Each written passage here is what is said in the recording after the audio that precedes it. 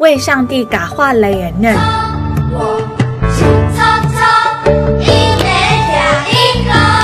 骑在那边走一走看，就看到那个墙壁上有一个那个剪纸的画，就碰到那个刘英家阿婆，我就问他这外面的图案啊，这这个是什么东西啊？然后看我兴趣，他就拿了他的一些相关的一些图案跟他做的剪纸拿来给我看，我看看说啊，原来马祖有这个哦，我以前是不知道这个东西。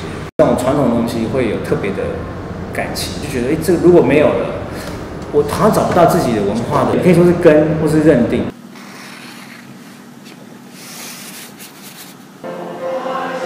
要找到上帝放在我心里面的那个 gift，我为什么要把它丢掉，做一个我不擅长的？当我确定这是我要做的东西的时候，我的热情会大过于我的挫折。因为圣经上有讲到说，你要么就侍奉上帝，要么就侍奉金钱嘛。他用马门这个字来讲，就是钱的意思。侍奉上帝是侍奉你，这个这个人有什么差别嘛？你工作就会有钱，就是因为去想的。哎，可是后来发现到说，当我当我跟随着我的天职的时候，我就是在侍奉上帝。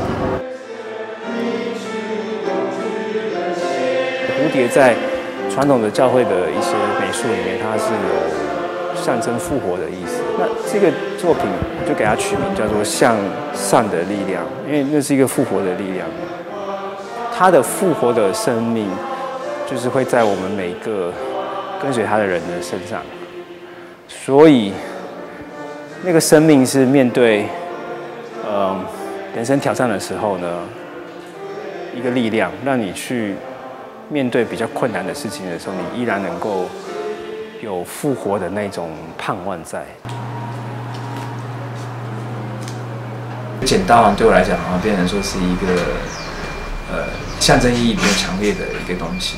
未来有有哪一位，但不见得是马主人，但我希望是马主人，他要做剪纸的时候，就把这剪刀再传给这给你了，因为这有点像是一个传承的意味吧。我觉得这应该是蛮有意义的。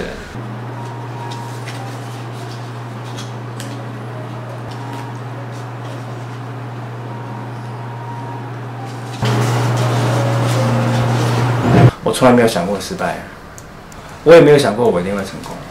我能够做，我就尽力去做。